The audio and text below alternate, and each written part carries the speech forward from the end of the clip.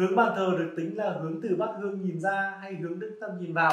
Đấy, chị hương trường có hỏi rằng là hướng bàn thờ được tính là hướng từ bát hương nhìn ra. Nó không có khái niệm hướng bát hương. Khái niệm của chúng ta đây là hướng của cái bàn thờ.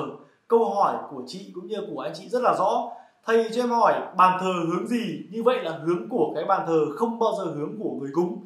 Chứ không phải hỏi người khi, khi nếu như là bàn thờ là hướng người cúng thì chúng ta hỏi là người cúng hướng gì? Ai hỏi là bàn thờ hướng gì?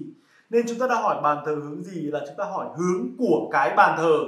Còn cái bát hương là cái điểm kết nối trên bàn thờ.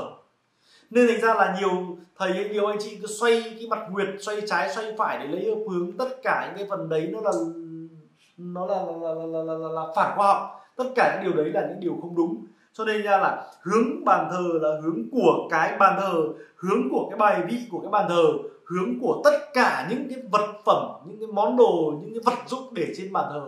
Chứ không phải là chỉ xoay hay là chỉnh một cái mặt nguyệt. Nên là không phải hướng của bát nhang không phải hướng người cúng. Hướng bàn thờ là hướng của cái bàn thờ. Rõ ràng thế.